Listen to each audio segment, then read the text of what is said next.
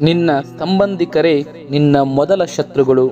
ಯಾಕೆಂದರೆ ಎಲ್ಲರಿಗಿಂತ ಚೆನ್ನಾಗಿ ಮೊದಲು ಅವರೇ ನಿನ್ನ ಬಗ್ಗೆ ತಿಳಿದುಕೊಂಡಿರುತ್ತಾರೆ.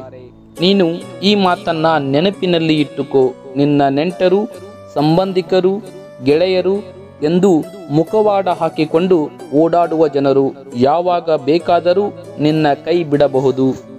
ಆದರೆ ನೀನು ನಂಬಿರುವ ಭಗವಂತ ಯಾವುದೋ ರೂಪದಲ್ಲಿ ಬಂದು ನಿನ್ನ ಕೈ ಹಿಡಿಯುತ್ತಾನೆ, ರಕ್ಷಣೆ ಕೊಡುತ್ತಾನೆ.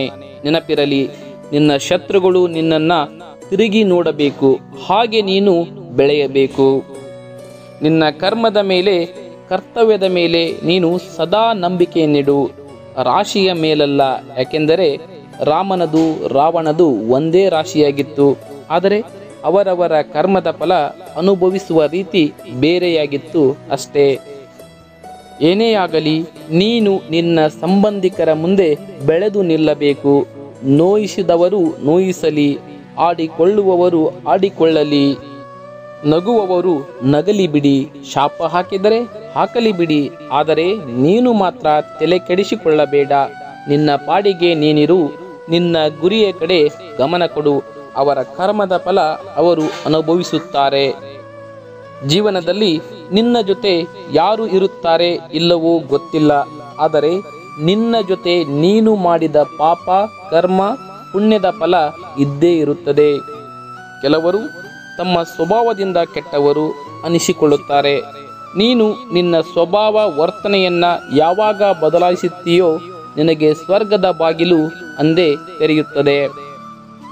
ಕೆಲವು ಮನುಷ್ಯರು ಜೀವನದಲ್ಲಿ ಬೈದರೂ, ಬುದ್ಧಿ ಹೇಳಿದರೂ ತಿಳಿಸಿದರೂ, ಅನುಭವ ಹೇಳಿದರು, ಹೊಡೆದರೂ ಕಲಿಯುವುದಿಲ್ಲ.